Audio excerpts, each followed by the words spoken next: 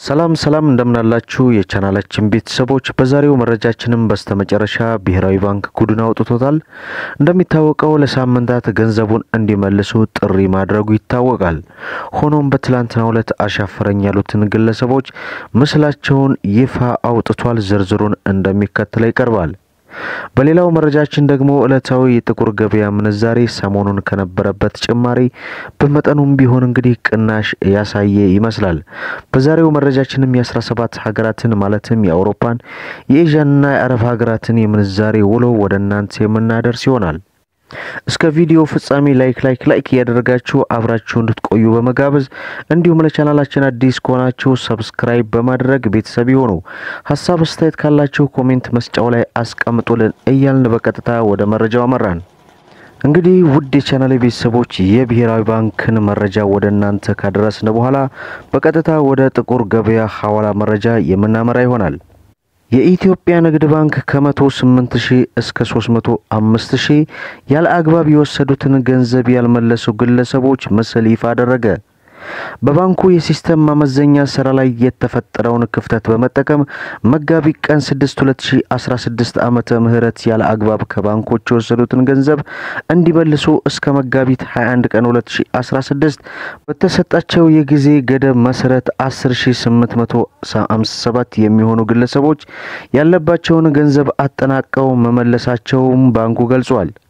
ባንኩ የተሰጠውን ተደጋጋሚ እድል ተጠቅመው ያለ አግባብ የወሰዱትን ገንዘብ ያልመለሱ ግለሰቦች ያሉ ሲሆን ባንኩም ገንዘቡን ለማስመለስ በተከታታይ ስለሚወስዳቸው እርምጃዎች በተደጋጋሚ ባሳወቀው መሰረት እስካሁን ያለ አግባብ የወሰዱት ገንዘብ ያልመለሱ ግለሰቦች የመጀመሪያ ዙር ፎቶግራፍ በባንኮች ድረገጽ እና የማህበራዊ ትስስር ገጾች ለማውጣት ተገደናልም ብሏል።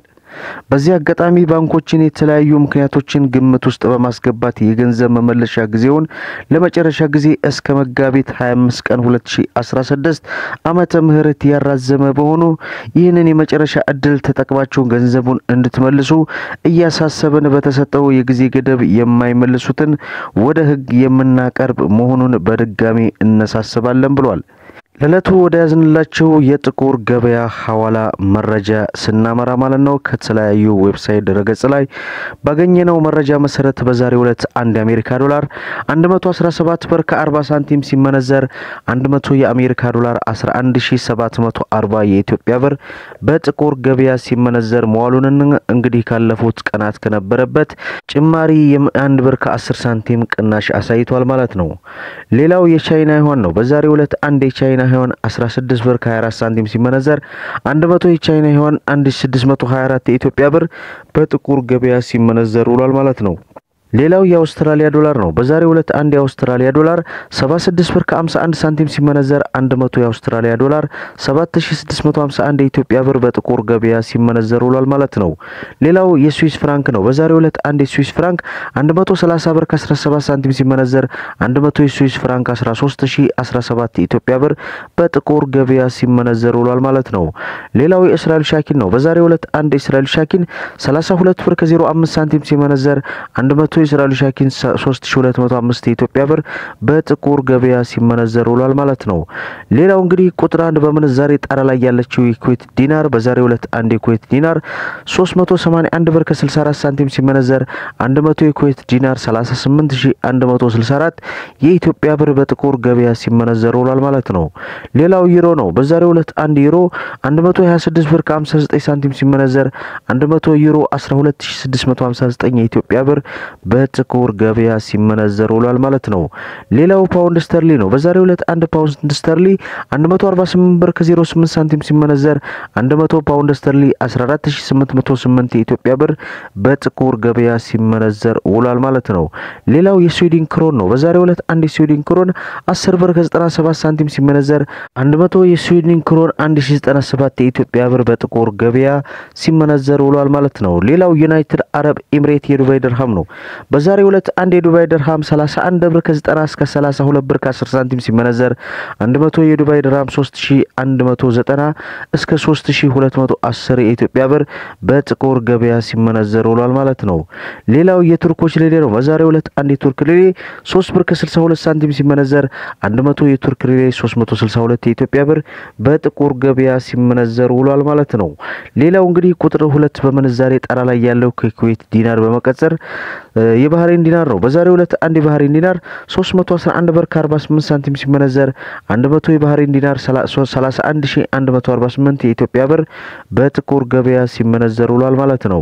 ሌላው የ Egyptian ፓውንድ ነው። በዛሬው ዕለት አንድ የ Egyptian ፓውንድ 2 ብር ከ48 ሳንቲም ሲመነዘር 100 የ Egyptian ፓውንድ 248 የኢትዮጵያ ብር በጥቁር ገበያ ሲመነዘር ውሏል ማለት ነው።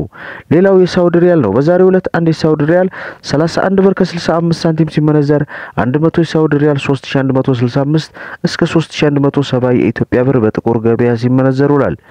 ሌላው እንግዲህ የጆርዳን ዲናር ነው። በዛሬው ዕለት አንድ የጆርዳን ዲናር 165 ብር ከ59 ሳንቲም ሲመነዘር 100 የጆርዳን ዲናር 16559 የኢትዮጵያ ብር በጥቁር ገበያ ሲመነዘር ውሏል ማለት ነው።